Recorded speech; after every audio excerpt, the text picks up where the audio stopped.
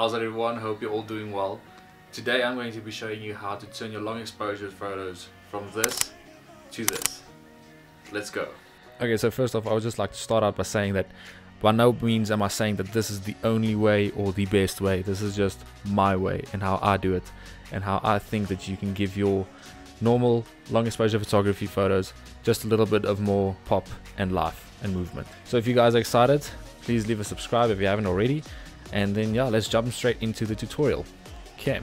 Okay so first of all i'm just going to open my photoshop project. You can see it's a blank project. Now i've already pre-selected these photos that i want. These are photos that i took in the previous video. If you haven't watched that already you can go check it out up here where i explain exactly how i took the photos and everything. So i just selected these that are actually used for the photo.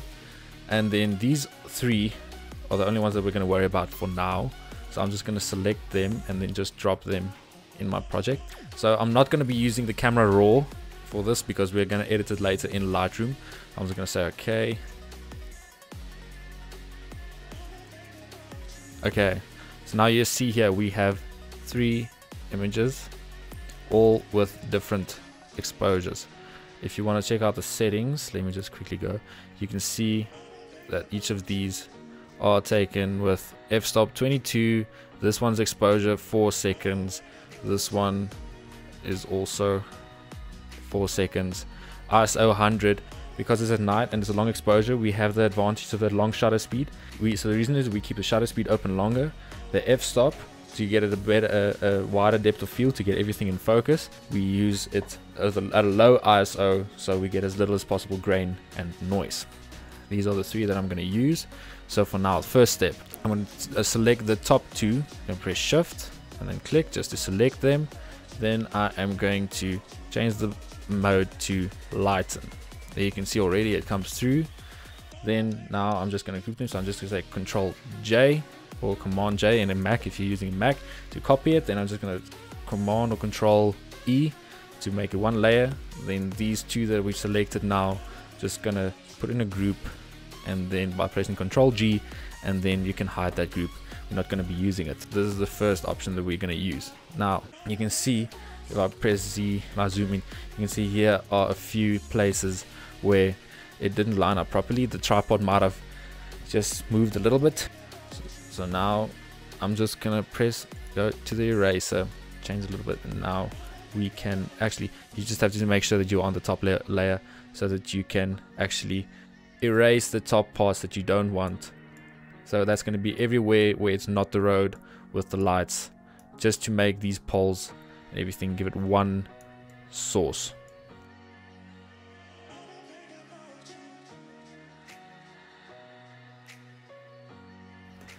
So you just go through everything, make sure all these poles and lights, everything is nice and singular gonna go around here all the way at the back. I'm just doing this fast just for time's sake.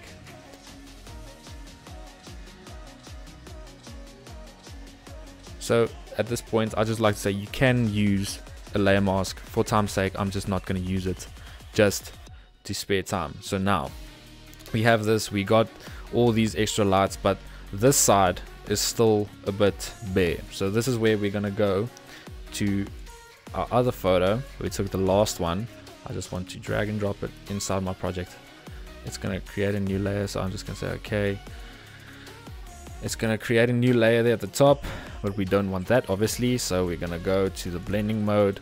We're going to make it lighten. Now the most important part here is we only want this red part. So now what we are going to do is we're going to go to our eraser tool again now we can erase all these extra things on the side that is not part of that.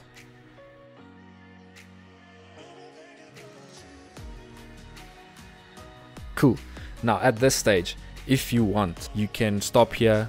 You don't have to do anything further. You can just go into color grading. I'm not done yet. I'm just quickly going to show you guys how we can make this better. This is like, to me, the cream on the cake. Now, what we're going to do is we're going to select a new layer then we are going to go to image then apply image now we're going to make sure it's merged multiply 100% press OK. Now you might think, oh, that didn't really do anything. Now we're going to go to screen mode. Now you see it just lifted everything. Now what we are going to do now is on this we're going to go to filter, blur, Gaussian blur. Now the thing is I shot this on the Canon 70D which is a 20 megapixel camera. Now what we can do is you can move it to the radius of 20 for every megapixel. If you want you can go more, if you want you can do 22, uh, not, if you want you can make it 22 just how much you want. I'm just gonna stick I think what I used for this one was about 21 20 or 20 okay so now we are going to say okay so the main thing that we want is we just want these lights to be blurry so the rest of everything we can just go to the erase and now we can just erase this part that is not affected by the light. I'm going to be careful around there for all the street lights because the street lights I also want that glow and that haziness to it.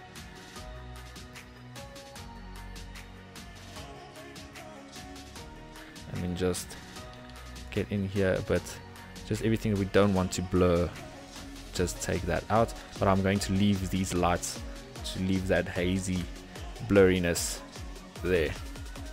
So now I'm seeing that there's a little thing there. So I'm just going to go back to these previous layers.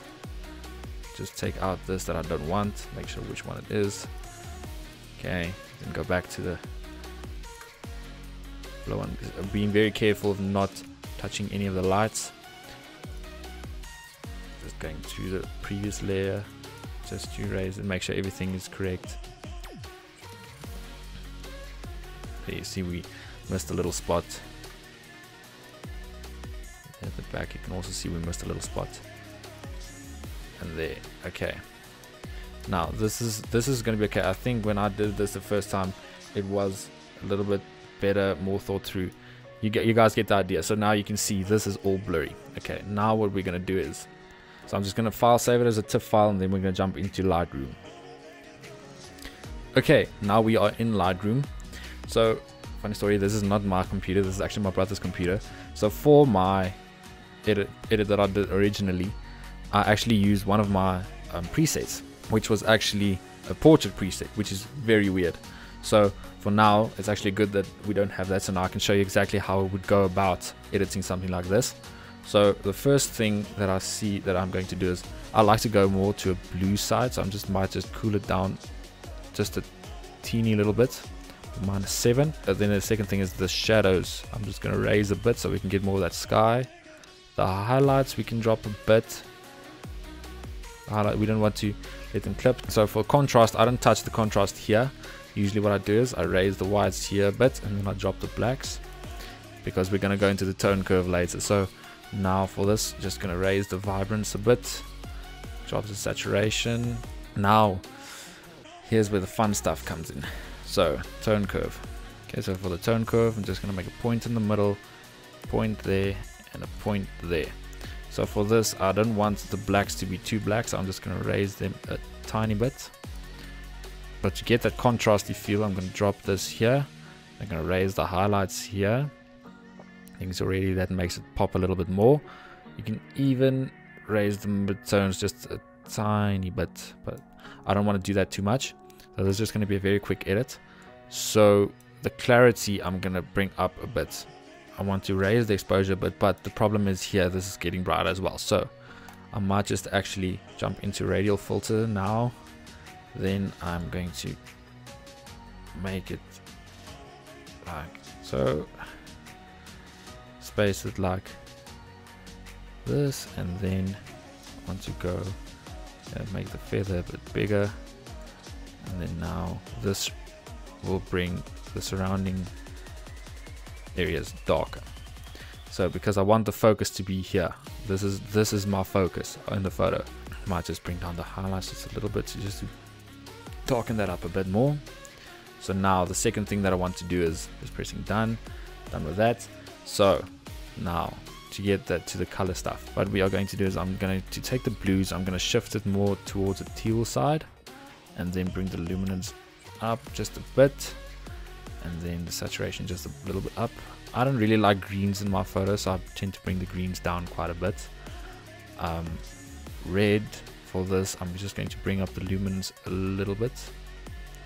And then just around about minus 3 minus 4 around there. Bring the saturation up a little bit so make it pop. All the yellows make it a little bit warmer just to give it that warm feel because now we are going to go into split toning just afterwards. Just want to get these aquas up a bit. Okay so here's where the fun part comes in. So in highlights I want the highlights to be warm. So I want them to be around about a yellow orange type of color. So what you do is you hold down alt and then you move this until you get where you want. I'm going to go round about here where the orange-ish there. And then just gonna boost that a bit. And then now for the shadows is my fun part because I usually go to just a cold blue type side. So usually 190 is my golden number which I usually tend to go to. This is still a bit green so 200 it's gonna lean more to the 200 side.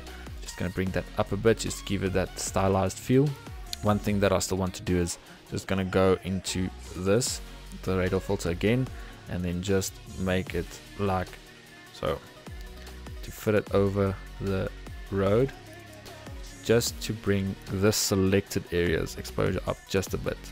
I'm going to increase the feather a bit. Invert so we only affect this. If you press overlay you can see what it affects. So just going to bring it down a little bit. Worry too much about the placement. Now press O again. Now you can see that the exposure went up by one stop which is a little bit too much. Might just bring down the highlights a bit just to not make it blow out if you press J you can see where it clips. You can see that it clips a bit so might bring down the highlights and then the whites as well. That will help. And then we'll bring up this exposure a bit more to get that glowy feel that we had. And now you can see this is actually turning into quite masterpiece. Some people might not agree. This is kind of looking a little green still. I don't like the green so I might just shift it a bit to the purples and then also down in the green make it a little bit more towards that and then also this back to the blues a bit. Even jumping into here and the greens and the shadows are bothering me so I'm going to go into the tone curve bring down the greens a bit. Not too much. And then we can even go into the blues and then raise that tiny bit in the shadows. Like so. Take it out of the highlights. Just place that point there that doesn't affect the top. And actually bring that down a bit. What's actually bothering me is this here.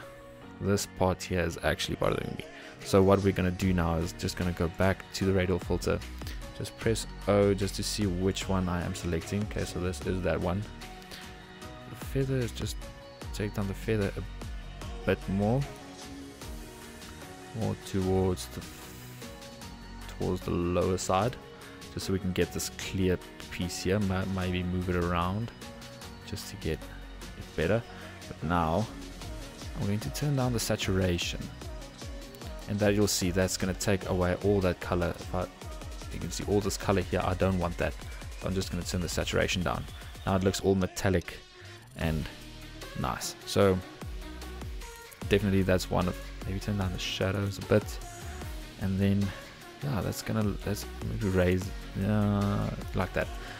I, I don't think I'm gonna mess about with it too much anymore so you press like that and you can see you know if we go with the before and the after you can see we made quite the difference.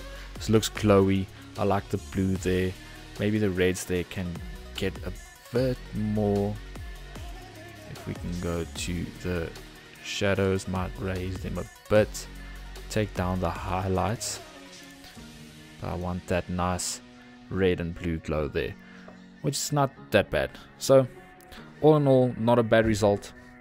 If you guys enjoyed this video please make sure to subscribe. If you want to see something else please let me know in the comments down below then I'll get to that this has been fun. I just wanted to show you guys how I got this photo which in my opinion is a nice way to actually explore and just play around in Photoshop. It's also a nice way just to give your long exposure photos a bit more life and movement and dynamics. How I would do this now is just go to the orientation and then just I always always level your photos. Make sure it's straight. Just make sure I'm a big fan of just pressing auto.